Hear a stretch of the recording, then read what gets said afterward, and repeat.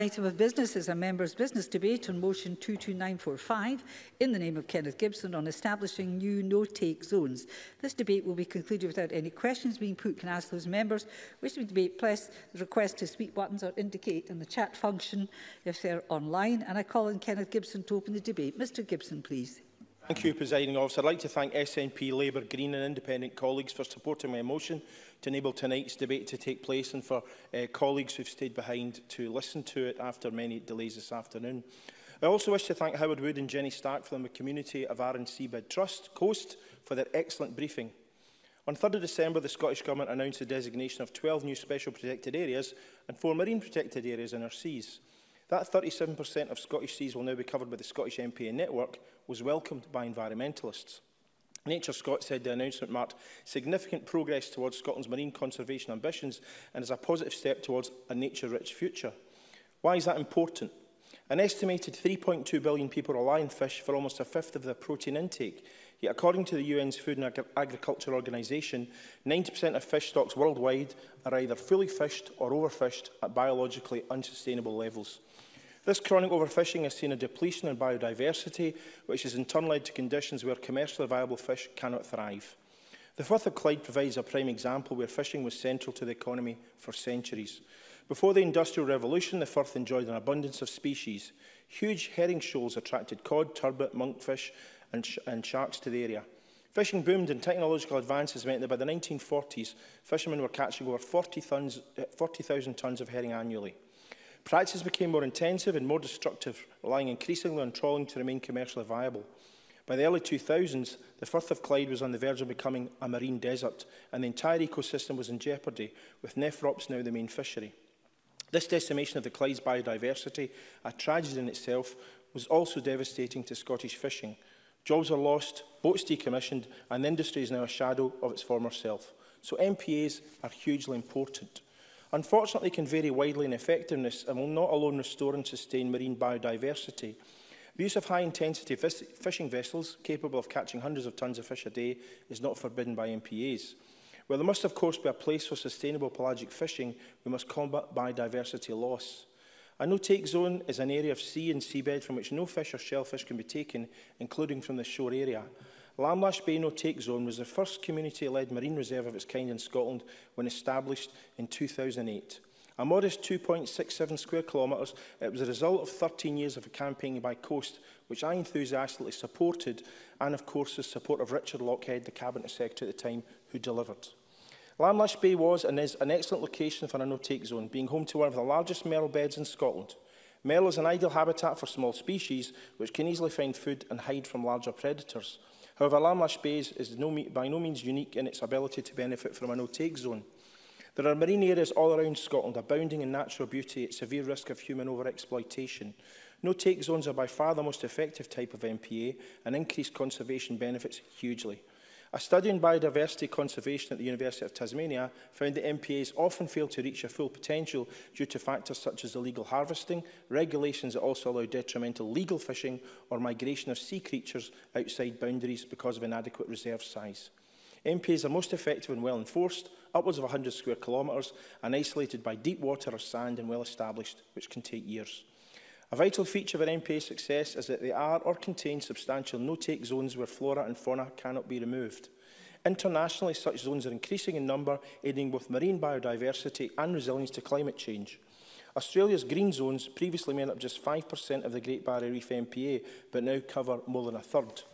Green zones have improved biodiversity and are home to a huge variety of organisms, including many rare, vulnerable and endangered species. Since the 1980s, coral trout biomass has more than doubled and the trout are larger and more abundant than those in general use blue zones. Evidence following tropical cyclone Hamish, which hit the reef in 2009, suggests that large, reproductively mature coral trout in green zones are also more resilient to the effects of natural disasters. Recreational activities such as boating, snorkeling and diving are allowed. However, fishing and coral collecting are entirely prohibited. Other international examples show the potential of no-take zones to restore ecosystems to a more complex and resilient state. The Palau Islands National Marine Sanctuary, which covers 80% of Palau's national waters, was described at this year's UN Ocean Conference as one of the world's most ambitious ocean conservation initiatives. At 475,077 square kilometres, the fully protected area is six times Scotland's entire landmass and nearly 178,000 times larger than Lamash Bay's no-take zone. Palau Waters hosts more than 1,300 species of fish and more than 400 species of hard coral. Established in 2015, regulations have been phased in to combat illegal fishing, and as early as 2017, the impact of the no-take zone was evident. Protected waters had twice the number of fish and five times as many predatory fish as those which were not.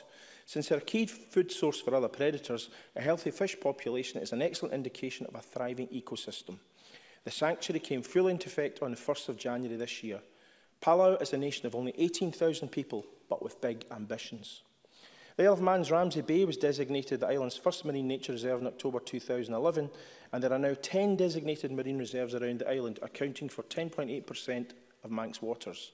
Ramsey Bay is around 95 square kilometres divided into zones, around half as highly protected with no commercial uh, fishing permitted. These are coupled with a fisheries management zone co-managed by the Manx Department of Environment, Food and Agriculture and the Manx Fish Producers Organisation. This innovative approach means sustainable fishing can continue around no-take zones and the commercial benefits enjoyed responsibly. On Anne, I've seen firsthand the work done by Coast to combat biodiversity loss. Since Lamlash Bay no take zone was designated, monitoring scientists have recorded double the living organisms on the seabed compared to adjacent, adjacent fished areas. A particular success has been the recovery of commercial species such as scallops and lobsters. Populations within the no-take zone have increased significantly in size and abundance, and a study in February this year found there are nearly four times as many king scallops as in 2010, and the size and number of both adult and juveniles has grown. Scallops also have significantly increased fertility compared to those outside the no-take zone and produce as many young scallops as fishing grounds over 20 times larger. Meanwhile, the population of European lobsters is, is quadruple the 2010 population. Lobsters are also much larger and more fertile, with the potential to produce up to 100 times more eggs than before the no-take zone was established. These benefits are not only felt in Lamlash Bay itself, studies show there is evidence of lobster spillover into surrounding areas. And just last week, a local krill fisherman legally landed a lobster tagged uh, uh, uh, within the no-take zone in 2018, almost two miles outside it. Research demonstrates that coast, cons uh, coast conservation efforts have been successful from a social as well as ecological standpoint. A poll of over 300 residents and visitors to Arran showed awareness at 95.2%, an increase of 23.5% in 2011, and support was very high at 97%. Arran residents and businesses consider research undertaken in Lamlash Bay to be very important economically, unsurprising given marine reserves enhance local fisheries and create jobs and new incomes through ecotourism. And Arran residents are also more optimistic about the health of their local seas compared to the Scottish average in a recent national poll carried out by Marine Scotland. Presiding officer, new marine MPAs are very welcome and important in combating biodiversity loss. However, they do not negate the necessity for further measures. LAMLASH being the international examples I gave show the hugely positive impact no-take zones can have on the surrounding environment as well as the potential for sustainable commercial fishing. I therefore urge the Scottish Government to look very closely at what Lamlash Bay no-take zone has achieved and the excellent work done by Coast to see how this success can be replicated with community support and engagement of many other locations in Scotland's waters. Thank you very much, Mr Gibson. And I call Collidia Beamish to be followed by Joan McAlpine. Ms Beamish, please. Thank you very much, Presiding Officer. And thanks go to Kenneth Gibson for bringing this motion to debate. With or without government acknowledgement, we are all in the midst of a climate and a nature emergency. And it has been my constant concern that the marine environment is neglected from these conversations. The international examples are very valuable that Kenneth Gibson has highlighted. Lamlash Bay is indeed a shining example as well of community empowerment and community environmentalism. Howard Wood and Coast have my utmost respect, and it was inspirational to visit the bay several years ago with Howard. The visit was a wake-up call for me. Seeing Coast's video of the seabed regeneration honed my absolute commitment to help the work for a sustainable future for our coastal communities based in the realities of the need to protect and enhance our inshore marine environment. And as, as, as we will hear no doubt later in the debate, the results of the highest level of marine protection show a dr dramatic return of nature and exploitative when exploitative and extractive activities are removed. Precious and iconic Scottish species like the pretty pink beds are able to really thrive. And as we heard from Kenneth Gibson, juvenile fish like cod and whiting and other small species given protection in the lush seabed. It is the very withdrawal of our impact that means increased biodiversity abundance and a healthier seabed can develop. And this benefits the fishing communities working legally around the no-take zones, as this abundance spills over and stocks are more at sustainable levels. Marine wildlife rebounds, and the ocean is allowed space and time to recharge, which has been denied by the commercial fishing levels in some cases. It is senseless not to apply these lessons to broader spatial management of our seas if we want a fishing sector that thrives in sustainability. This government is under a legal duty to properly implement MPAs with management measures and apply the National Marine Plan duties to further fisheries decision making. And our committee report, the ECCLR Committee report on regional marine plans, will be out soon. And I'm sure the Minister will take careful note of that and how vitally important it is that everybody works together, all from all the sectors and the communities who are involved as we shape our future for good seas. As Open Seas pointed out in their briefing, the Scottish Government is failing to meet these duties, as proven by a leaked Nature Scot report that shows vital losses in marine habitat. In our seas, economic recovery and environmental recovery must go hand in hand. Coastal communities are in the front line of Brexit and the COVID 19 implications. Tackling these, along with climate and nature emergencies, demands a blue recovery. This is a key part of delivering a just transition for all, and I want to stress this must be done through consultation, as been highlighted by some of the briefings sent to us before this debate. Completely interconnected is the marine environment's role in climate mitigation. No-take zones can better protect key blue carbon habitats that sequester carbon emissions and help us meet impending and crucial emissions reductions targets. I am very pleased to support Kenneth Gibson's motion tonight and add Scottish Labour's voice to the calls for more no-take zones in Scottish waters. It's time to give these marine areas back their self-will. Thank you, Deputy Presiding Officer.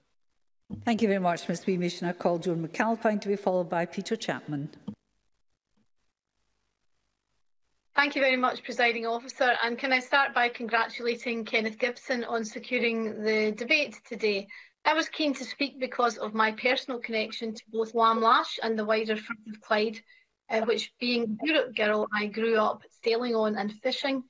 For our family, Arran, and especially Lamlash, where you find the no-take zone, is a place of very special memories because in the 1960s, we decamped to a but and ben there every July at the Greenock Fair. And one of my very early memories of Lamlash Pier was seeing rows of urchins still with their spines on caught by divers. They would then be scraped and buffed up to sell to tourists. And I seem to recall a couple of nice lavender examples on my antique dressing table. At that time, we had no appreciation of the harm that such activities caused to biodiversity. Uh, the creature inside the shell of the sea urchin was scooped out and discarded and not considered good for anything, not even as bait to use to catch haddock or whiting in nearby Brodick Bay, a summer pastime in those days which soon disappeared with the fish. Uh, as wasteful as diving for sea urchins might have been back in 1966, it was not nearly so destructive as what came next. In preparation for today's debate, I learned that the government allowed trawlers uh, to come closer to Scottish shores in 1984. And that explained a lot for me, presiding officer, uh, because dredging is so destructive, so indiscriminate in its assault on the seabed, bashing sea urchins, tearing the limbs off starfish, and leaving an underwater wasteland. I recall far greater biodiversity in the Clyde as recently as the 1960s, 70s, and even early 80s, uh, when we fished um, in, uh, in and around Inverkip, where my father kept his boat. Uh, we went out every summer uh, and we predominantly caught cod, uh, haddock if you were lucky, flounder, and the, even the occasional skate. There were also sea trout uh, near Inverkip, and until the 1980s, my father caught uh, grey mullet. Uh, then all the fish just seemed to disappear. It didn't make a lot of sense to me then because the Clyde, of course, was getting cleaner. The only explanation I know now is overfishing and uncontrolled trawling after 1984. Now, with the success of the no-take zone in South, South Arran, we are seeing a way ahead and perhaps a way back to a time when I can still remember the Clyde was more fertile and a time before that when, as Kenneth Gibson said in his opening speech, uh, the Clyde was abundant uh, with herring. The town that I come from, Gourock, began as a herring port and it's not seen a herring for many a long year. Uh, the no-take zone was established in response to a campaign by Community of Arran Seabed Trust and designated by the then SNP Environment Minister Richard Lochhead in 2008. And I was really impressed to read that scientists monitoring the area have recorded a doubling of the living organisms on the seabed compared to adjacent fished areas. It's become an important fish nursery area as well for many important species, including juvenile cod. And I note from a report in the journal Frontiers of Marine Science uh, that found a remarkable turnaround in just a few short years, uh, with the number of scallops increasing uh, between two and five times. Uh, and as Kenneth Gibson said, the number of lobsters not just increasing but growing much larger. So the, in a short time, uh, we've seen the small no-take zone in the South Arran uh, improve species, not just in that small no-take zone, uh, but also in adjacent areas, because obviously uh, the fish and the crustaceans don't respect the boundaries. Um, yeah, it's only it is the only no uh, take zone in Scotland, which I was surprised to hear. Just imagine the effect of many more no take zones right around our coast. Uh, not the whole coastline, but even a substantial part would make a huge difference. The benefits to tourism are already apparent, as anyone who tries to book accommodation in Lamlash less than a year in advance can testify. Uh, but, but many more no-take zones around Scotland would just not benefit just tourism, but also sustainable fishing. Uh, as species are able to spawn and grow in peace, because this isn't anti-fishing; it's actually about establishing a sustainable fishing industry, which would be so beneficial to our coastal communities. So, in conclusion, presiding officer, the government is to be congratulated for setting up the no-take zone in South Arran in 2008. Let's build on that success by creating many more and tackle the nature emergency that we face alongside the climate emergency. And once again, I thank Kenneth Gibson for the debate. Thank you very much. And I call Peter Chapman to be followed by John Finnie. Mr Chapman, please. Hi, thank you, Deputy Presiding, Deputy Presiding Officer, and I also welcome the opportunity to speak on behalf of my Scottish Conservative colleagues on this uh, very important debate. Uh, and also I thank Kenneth Gibson for bringing it uh, to the Chamber tonight. As we've heard, a no-take zone is defined as an area of sea and seabed from which no fish or shellfish can be taken, including from the shore area. And there are currently four such zones in the UK, all of which I believe have proved successful. I will talk more about the Scottish no-take zone, but the others in the UK are in the Medway estuary, uh, at Flamborough Head in North Yorkshire, and at Lundy Island off Devon. And our Scottish one, established in 2008 in, in, in Lamlash Bay, has, as we've heard, gone from strength to strength. Within the past 10 years, researchers have found that the size, fertility and abundance of commercial species such as lobsters and scallops has significantly increased within the boundaries of the no-take zone. Indeed, I am pleased to note that lobsters are now over four times more abundant in the no-take zone than in the adjacent areas.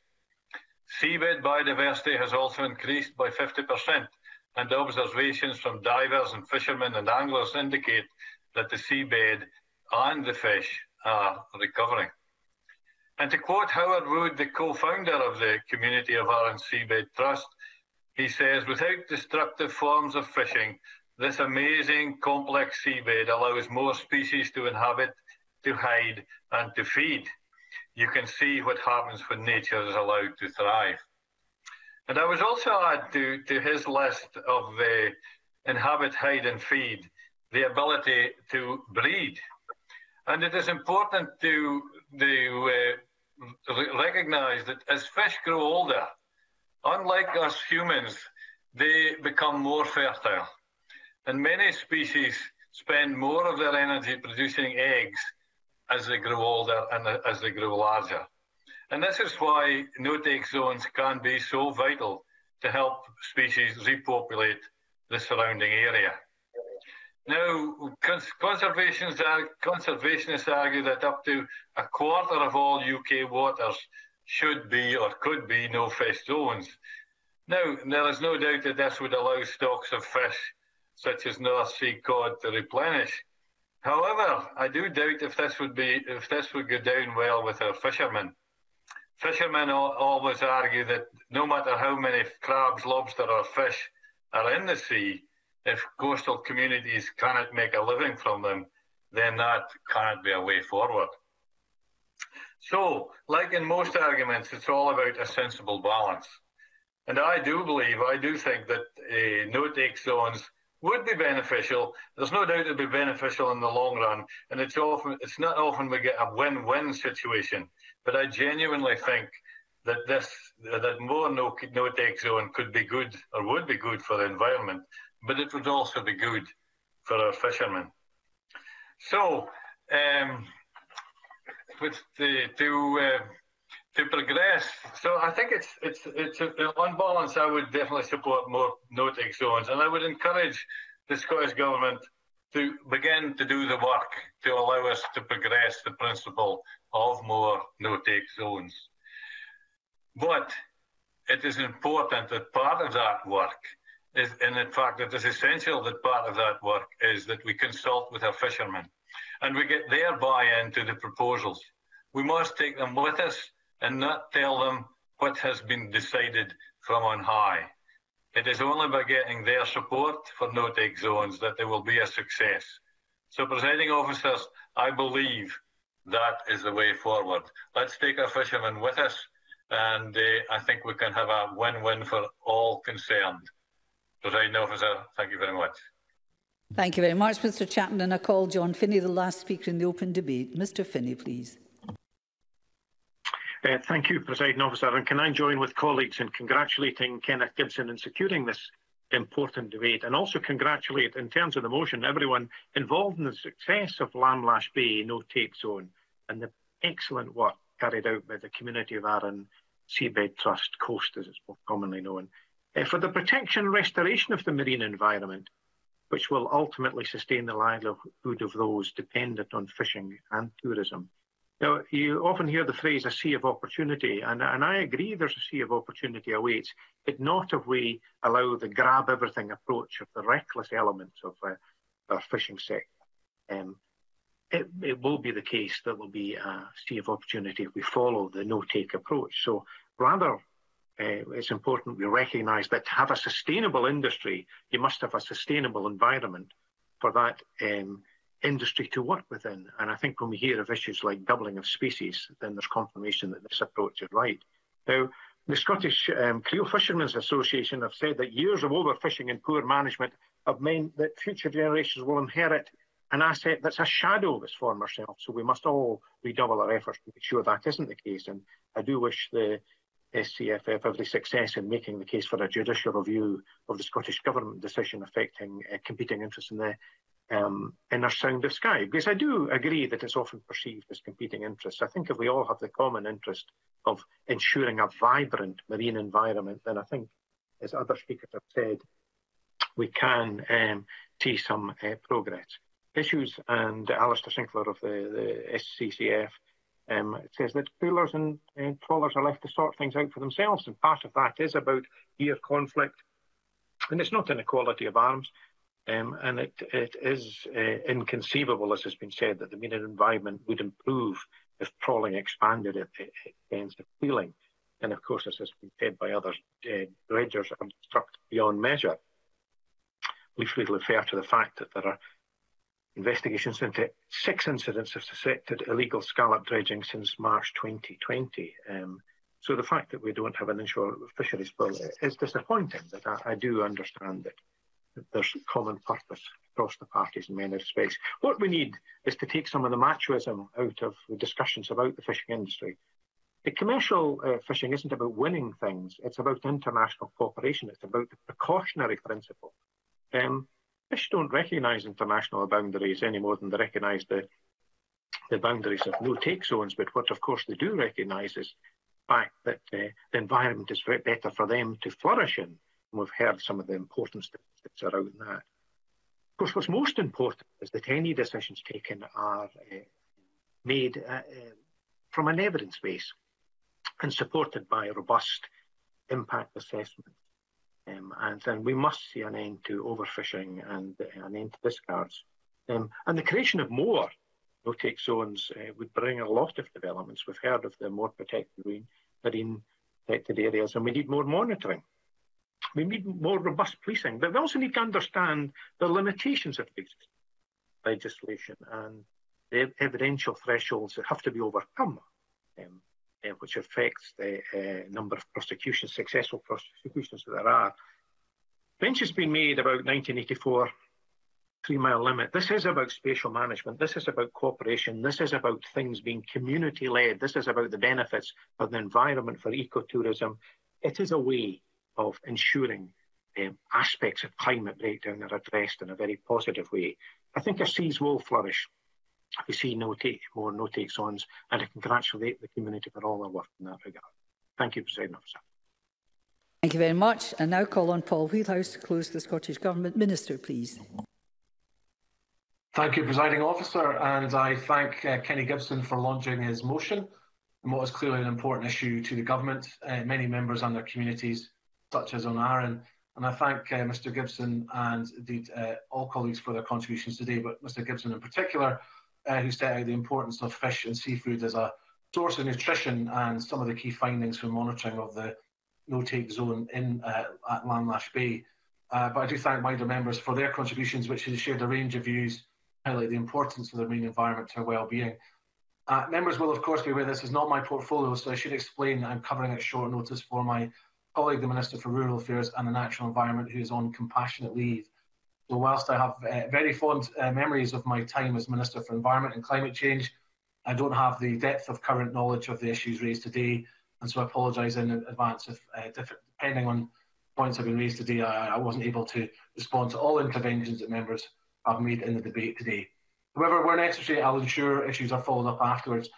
Uh, through our future fisheries management strategy, though, we, we want to ensure that we've we are fishing at sustainable levels and that the right protections are in place for our marine environment, underpinned by a robust scientific evidence base, uh, which John Finnie just refer referenced there in, in, closing. And importantly, uh, the enforcement regime, which he also referenced. We have already confirmed that where necessary and appropriate additional measures will be introduced, for example, to protect vulnerable spawning and juvenile fish areas and to um, remote electronic monitoring for the pelagic and scallop fleets as and as required for other sectors of the fleet. The deployment programme has already fitted remote electronic monitoring, putting cameras to 30% of Scottish scallop dredge vessels, which hopefully will help with the issues that um, uh, Joan McAlpine raised in her discussion rounds uh, in Inverkip. And as part of our wider modernisation programme, 40 creel vessels in the Outer Hebrides inshore fisheries pilot have also been equipped with low-cost vessel tracking systems. For the bulk of my speech, I'll outline some of the marine conservation successes of the last 10 years and highlight current work, and I'll take a, a brief look into the future. The establishment of the Lamlash Bay no-take zone in 2008 was indeed a groundbreaking decision uh, by Richard Lochhead and following a long and persistent campaign by the community of Arran uh, Seabed Trust or Coast. It was a bold and laudable move uh, by, by Richard uh, Lochhead when he was Cabinet Secretary for Rural Affairs and the Environment, of course. They also recognise the continued efforts of COAST to work with academic partners, most notably University of York, to monitor and assess changes that have occurred over the last 12 years. Uh, and this has not only produced a substantial evidence base, it's also given a lot of students a great opportunity for field work during their studies.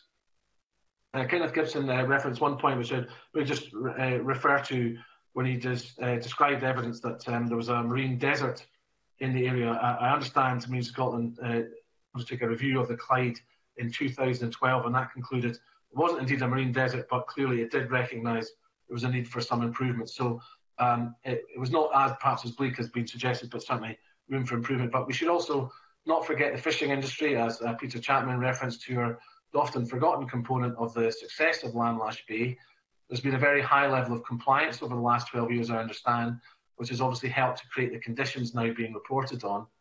And this serves as a strong reminder of the need to have those who will be directly affected by management measures fully involved and engaged in decision-making processes. In that respect, I very much agree with what Peter Chapman was saying. Uh, presiding officer, before the COVID-19 pandemic uh, took hold, 2020 was being termed as a super year for biodiversity, with important negotiations for a new global biodiversity framework to take place and the UN Climate Change Conference of, of parties to be held in Glasgow. And as members are aware, these issues have been rolled forward into 2021. Uh, Joan McAlpine made this point, but she's absolutely right to say there's clearly a, a strong link between the uh, natural or nature emergency alongside the climate emergency, and therefore those talks in 2021 will be particularly important. But 2010 was also a super year for biodiversity. That year, uh, there were three significant milestones, which we, we need to remind ourselves of. The Marine Scotland Act 2010 received royal assent, creating new domestic powers and duties for marine planning, licensing and conservation. The OSPAR Convention adopted the North East Atlantic Environment Strategy, and the Convention of Biological Diversity adopted a global framework for biodiversity known as the Aichi targets. Uh, these three things have been significant drivers of our work in the last 10 years to improve the marine environment. We now have a national marine plan which guides sustainable development and have established three marine planning partnerships. We have a marine licensing system designed to keep activities within environmental limits and we have expanded the MPA network from less than 10% to 37%, as uh, Kenneth Gibson uh, noted earlier in his speech. This year alone, we've nearly doubled the size of the network, including the designation of Europe's largest marine protected area. And these represent a huge leap forward in a decade, and it's something I think we should all be very proud of. Rising officer, as we, uh, we appreciate that we haven't fully um, addressed and achieved all the targets from 2010, Yesterday, the Cabinet Secretary for Environment, Climate Change and Land Reform published a statement of intent on biodiversity, and that statement made it clear that current projects to improve the status of biodiversity will continue and be enhanced where possible until a new Scottish biodiversity strategy is agreed. This is relevant to the marine environment, where we are working to deliver fisheries management measures for the MPA network and ensuring the most vulnerable habitats are adequately protected outside the MPA network. Our progress with these has been slower than originally planned this year due to the response to COVID-19 and the impact of EU exit uh, preparations. This important work will continue over the next few years and will build on the significant stakeholder engagement that has taken place over the last decade.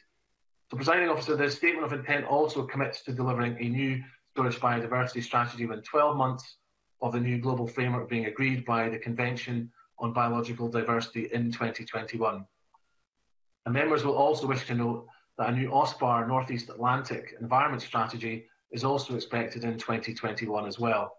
This means that uh, a new course will need to be set for 2030 so that we can meet the new international targets that are expected to be agreed next year. In setting um, that new course, consideration can be given to the need for tools such as no-take zones, which uh, members across the chamber have called for, and other forms of strict protection to achieve the outcomes that we desire. Presiding officer, I, I, thank Kenny Gibson once again for bringing this uh, debate to the chamber. Been great contributions from colleagues in the debate.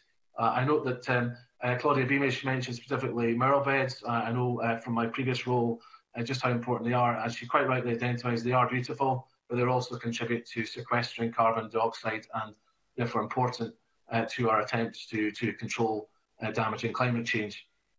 But I also want to thank Howard Wood and the team at Coast for the long-standing efforts to promote conservation of the marine environment. I had great fortune to meet Howard Wood at Global Climate Action Summit in San Francisco, and it was great to see him influencing uh, a debate at an international level there, taking the example of what we can achieve in Scotland and communities like Arran uh, to a global audience. And we've come a long way since 2008, and we should celebrate the progress we've made with conservation of the marine environment. And I very much uh, acknowledge that importance of this debate. The journey isn't, of course, yet complete, and we recognise there is much yet still to do, but many of our successes have been down to significant amounts of stakeholder engagement and ensuring that the wide range of views and perspectives are taken into account. And whilst this does take time, it uh, does result in better outcomes. So I hope the stakeholders continue to engage in the marine conservation issues as they have done over the last decade, so the next, de next decade is just as successful as the last. Thank you very much, Presiding Officer. Uh, thank you, Minister. That concludes the debate and I close this meeting of Parliament.